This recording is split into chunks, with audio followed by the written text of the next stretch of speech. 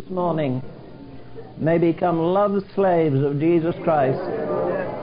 That we may be able to say with the Apostle Paul, I bear in my body the owner's brands of Jesus. That Calvary love will mean, like the one who went to Calvary, we have to die to personal ambitions and self seeking. To lay in dust life's glory dead, that from the ground there may blossom red life that shall endless be. So help us. Pack these immediate moments with eternity. Put your hand in this meeting. Get out of it apostles, prophets, teachers. We've talked of Russia and Bulgaria and other countries this morning. Maybe the Wesleys and Finneys for those nations are here in this house. The material here is beyond our comprehension. As the world would say, we play for the highest stakes. We look for the greatest trophies. We look to, for thee to endue us with power from on high. Kindle a flame of sacred love on the mean altar of our hearts. And there let it for thy glory burn with inextinguishable blaze, and trembling to its source return in constant prayer and fervent praise. And we'll give the praise to him who alone is worthy, our Lord, our Savior, and our King Jesus. Amen. Thank you.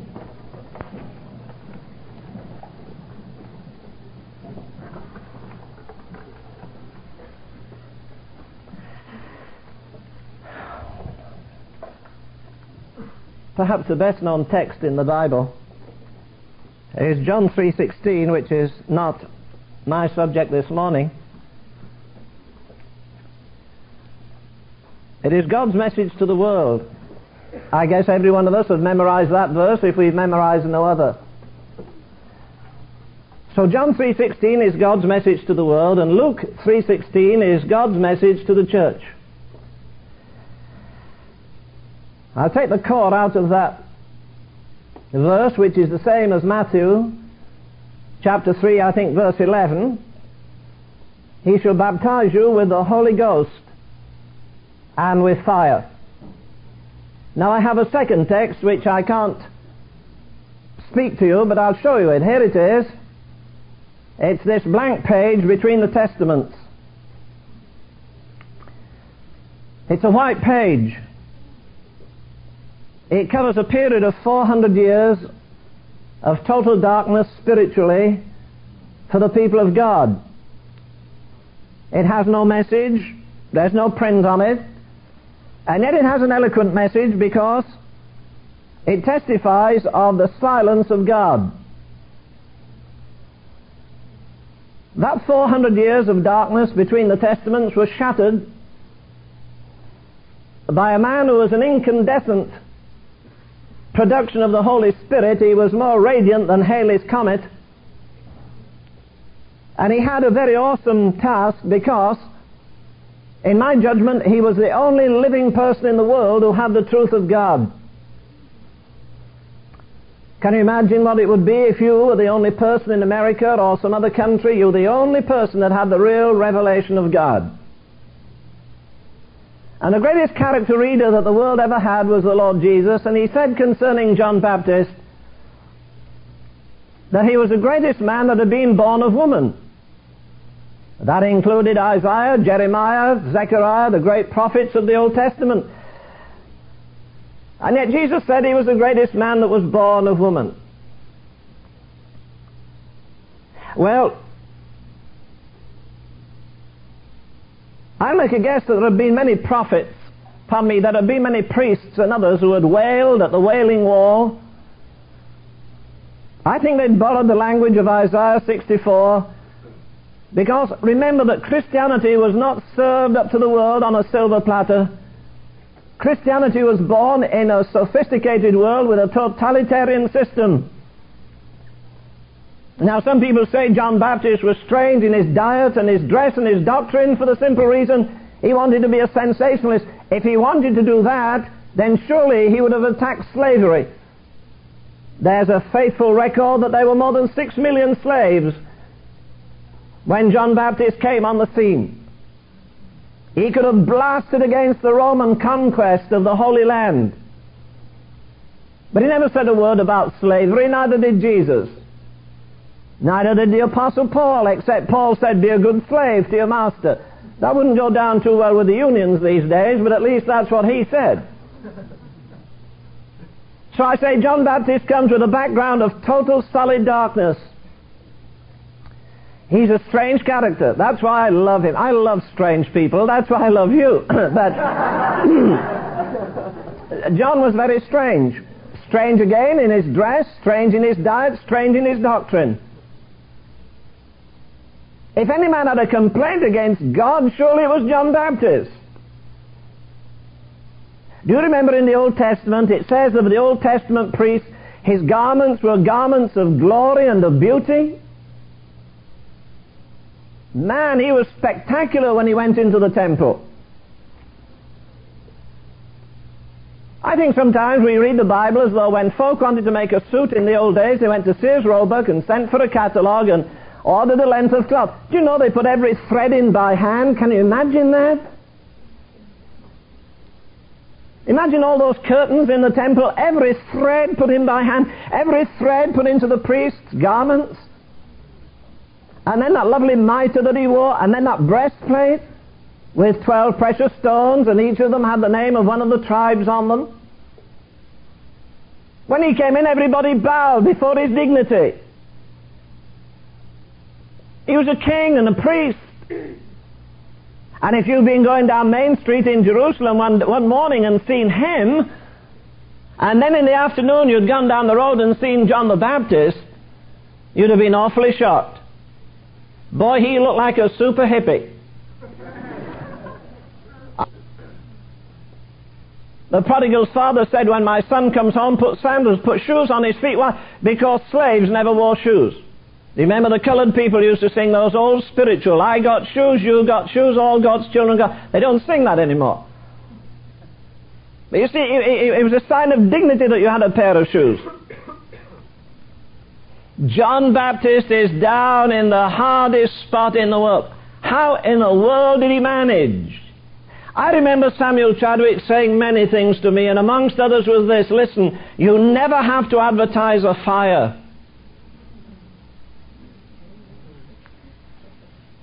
You never advertise a fire. Whether it's a building on fire, particularly if it's midnight and some great building is burning, people come out of thousands. I remember saying to my wife once after I got home preaching at one o'clock in the morning, I said, Sweetheart, there's a mill on fire in town. Let's go see it. You know, there won't be many people around at this hour. Everybody in town thought the same thing. There won't be anybody around at this hour, so the whole town turned out. We couldn't get within about five blocks of the fire. And it was warm enough even there. I was glad I didn't have a front pew anyhow. but you know, the flames shooting to heaven and the black background, the fire was attractive. And John Baptist was there, and Jesus said of him, He is a burning and a shining light. I get disturbed about all these preachers taking folk to Israel. I wish they'd take them to Calvary. People like to say, I walk today where Jesus walked. You won't raise an eyelash if you do that, not even a false one. the problem is not, not I walk today where Jesus walked, but I'll tell you what, they'll curl their lips if you say, I walk today as Jesus walked. And that's the only reason you and I have to, to, to bear His holy name upon our lips. You know, John the Baptist didn't do it right. He could have made millions selling souvenirs. Sure. He could have gone up Mount Sinai and chopped little lumps of rock off and gave everybody a piece of the rock, you know. all right, not in insurance, that's all right. Uh, but he could have sold a piece of the rock for five dollars. He could have taken a tour of people and said, This is the very spot where Abraham offered Isaac. Isn't it amazing that a man could turn the world upside down in his day? He'd, he'd no agent to go ahead of him. He'd no bumper stickers. You say, well, they'd no cars. Well, they'd camels. He could have put them on the tail of the camel, and every time they swish, people could have said, you know, when they saw, you know, you know these bumper stickers or something. We were in California, La Puente, the other week. I saw signs. You know that old saying? I think it's a bad one. People have a sticker on their automobiles. I found it. Well, that doesn't mean a thing. If you put on I found him, I'd go along with it. But the Jews now have got the, uh, the, the, you know, that Star of David, and you know what the sign is in California? We never lost it.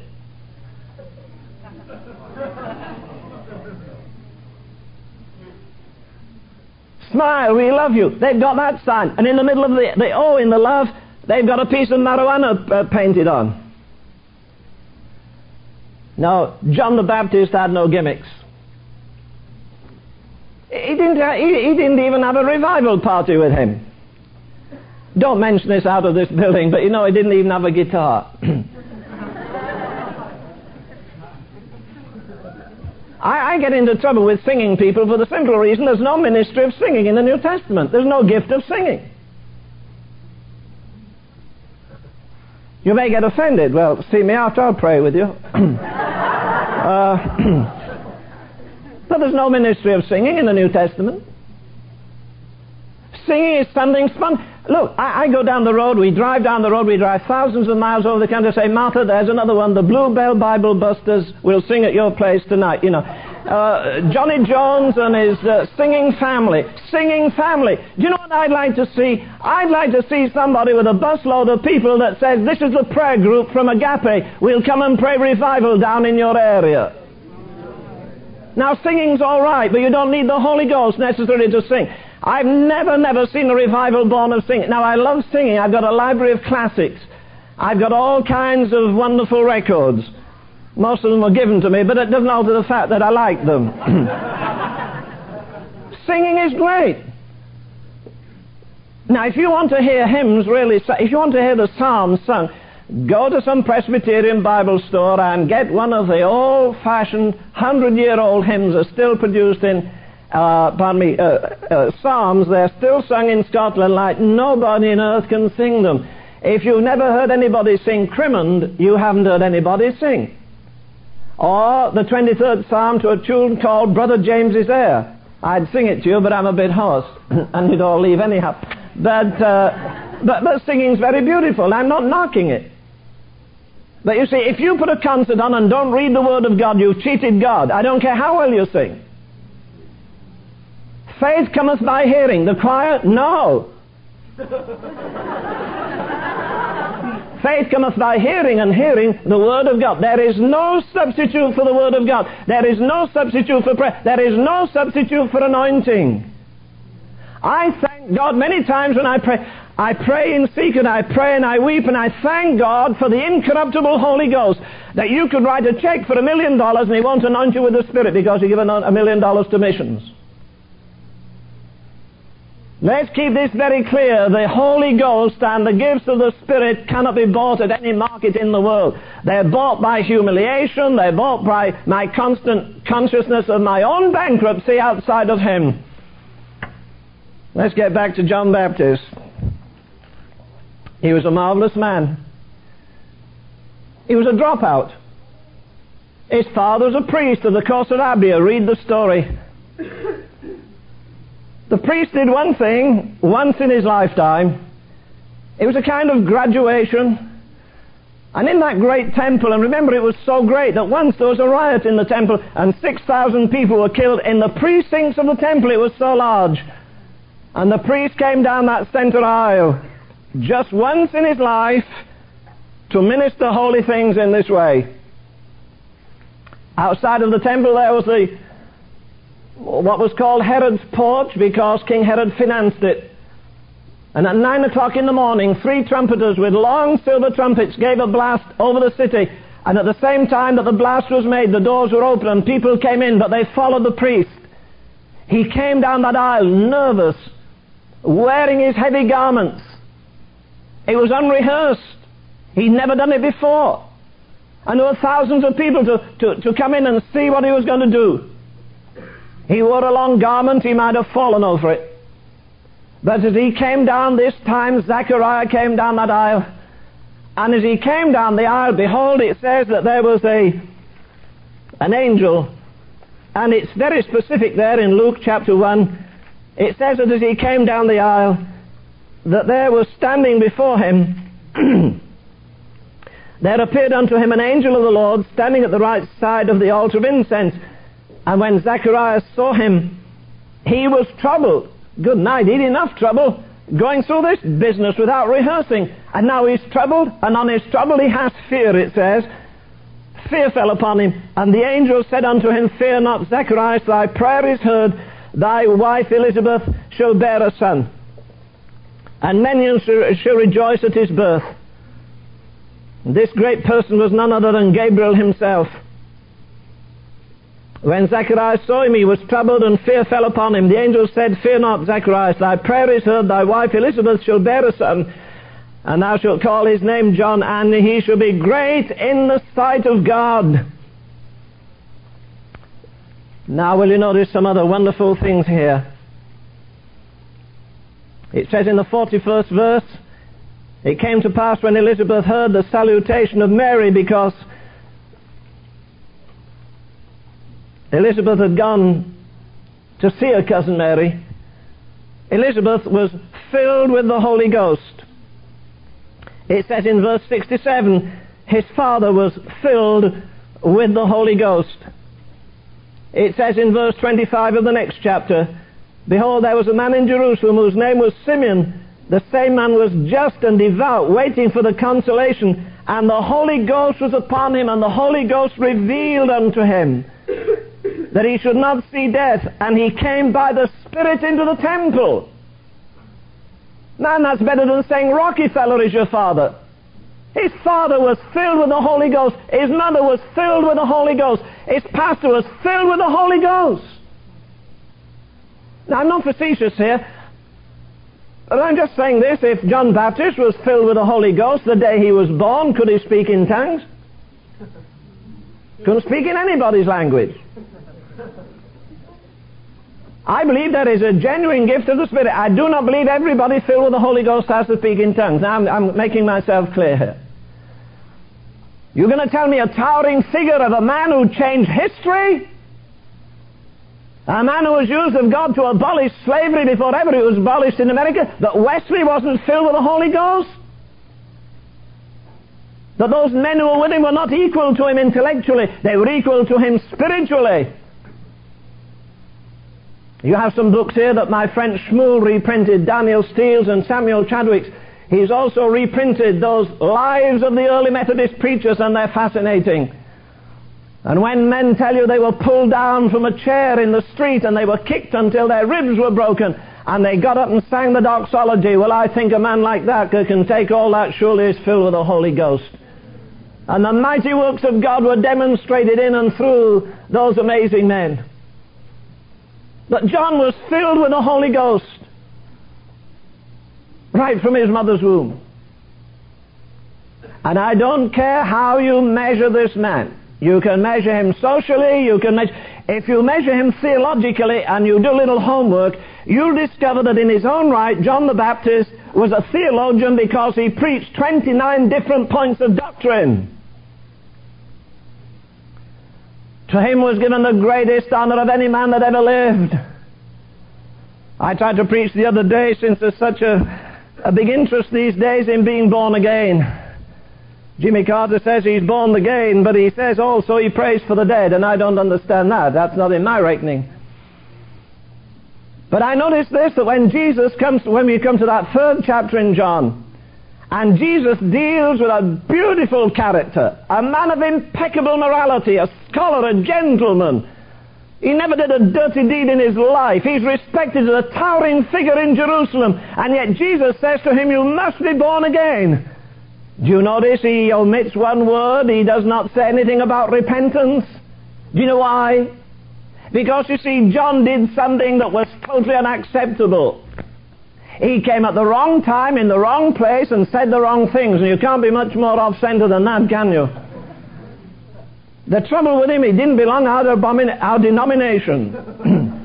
I nearly said abomination. It's the same thing. Uh, but he didn't happen to belong our denomination, and so do you know what they did? They said he's not genuine.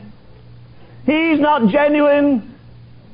But you see, people had gone to church and they'd heard all the shibboleths. Do you know one thing that angers me? The Holy Spirit is neglected in a charismatic generation.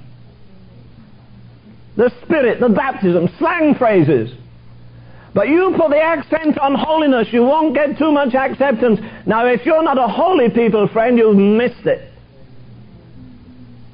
Yeah, if God tells me to come and live here, I'd be happy to come and live down the road there. But I'll tell you what, if I came, my accent would be holiness. Because God is holy. There used to be an old preacher in this country, and every time he opened his Bible, he preached on holiness. And one day he started, and somebody jumped up and said, Every time you open the Bible, it's holiness. He said, Brother, I don't have to open it.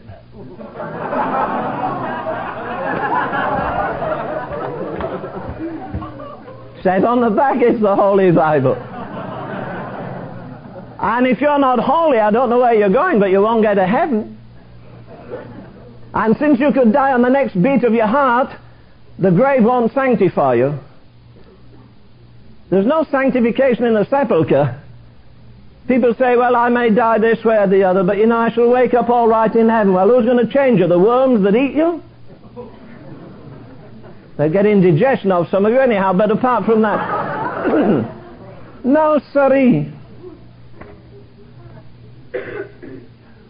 The emphasis needs to be put there on the Holy Spirit. When Saul, the king of Israel, had an evil spirit, he did evil things. Jesus says when a man has an unclean spirit, he does unclean things. Therefore, logically and biblically, the man who has the Holy Spirit will have holy fruits in his life, holy desires in his life, holy aspirations in his life, holy fruit in his life. Oh, I don't hear too much. I hear a bit about the fruits of the Spirit, more, but most people are overboard on the gifts, and they shouldn't be. As I've told you before, the, the Spirit came as a dove, and a dove has nine feathers on one wing and a nine on the other. And there are nine gifts of the Spirit, and there are nine fruits of the Spirit. And even in an energy crisis, doves don't try and get off the ground with one wing. Have you noticed that? they still use two. But you go to some meeting, it's gifts, gifts, gifts, gifts, gifts, gifts, gifts. You go to another, it's fruits, fruits, fruits. And they're all going round in circles. Now, if they use both wings, they get off the ground and get somewhere. But you see, we're so lopsided. We're more devoted to doctrine than we are to the Word of God. Now, another thing about John Baptist, I like this. John did no miracle. Isn't that something? Nobody ran after John and said, Have mercy on my son, he's a lunatic. Nobody ran after John and said, Listen, my child is blind. Or, nobody ran after John. He never cured a withered arm. He never touched anybody's blind eyes. He never spoke deliverance to anybody. He never raised the dead. He did infinitely more than raise a dead man. He raised a dead nation. They flocked to him from Jerusalem and Judea and Samaria. He preached in the power of the Holy Ghost. Oh, I agree there are some meetings that uh, uh, an hour and 45 minutes enough. For me, some of, the, for, some of them, for me, five minutes is enough. I'm worn out after five minutes in some meetings. But I'll tell you what, when revival comes, you don't get two hour meetings or three or four or five. You get five and six hour meetings. I spent years on and off preaching with Duncan Campbell. You sell his books here.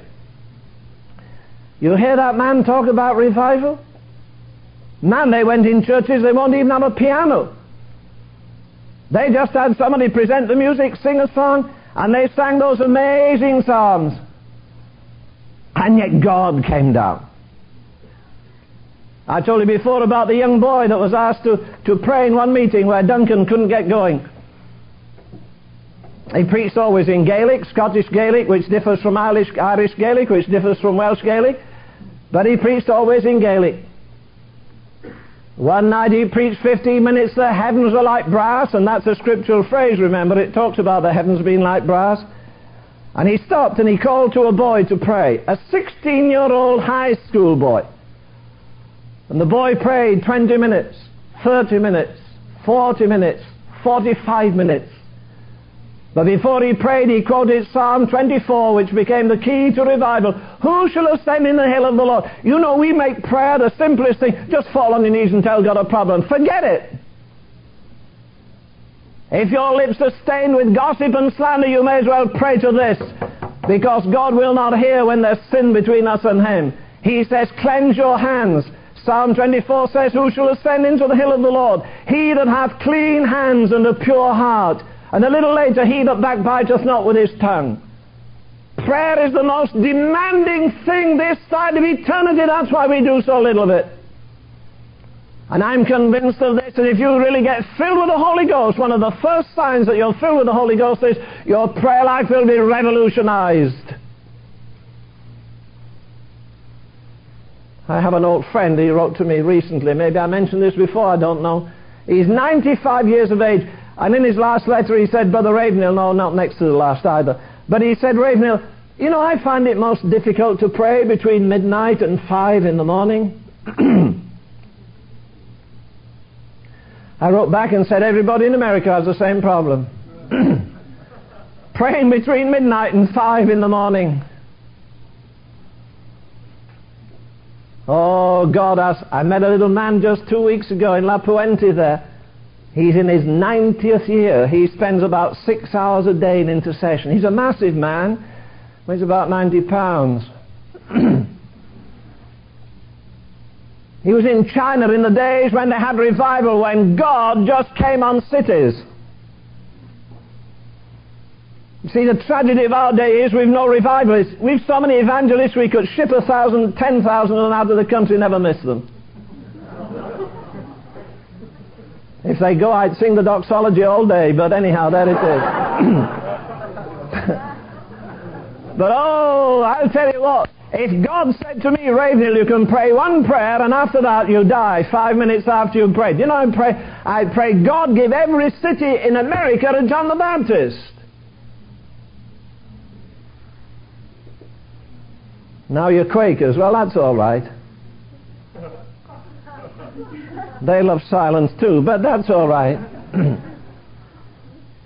John did no miracle. People say if all the miracles were restored, we'd shake this country. Listen, there's no country on earth in history had more miracles than America has had in the last 50 years, and we're nowhere near revival. I spent a lot of time with Miss Kuhlman and Dave Wilkerson too. Preached for her in auditoriums, took her Bible classes in the Carnegie Hall in Pittsburgh for weeks. And I thank God for her ministry.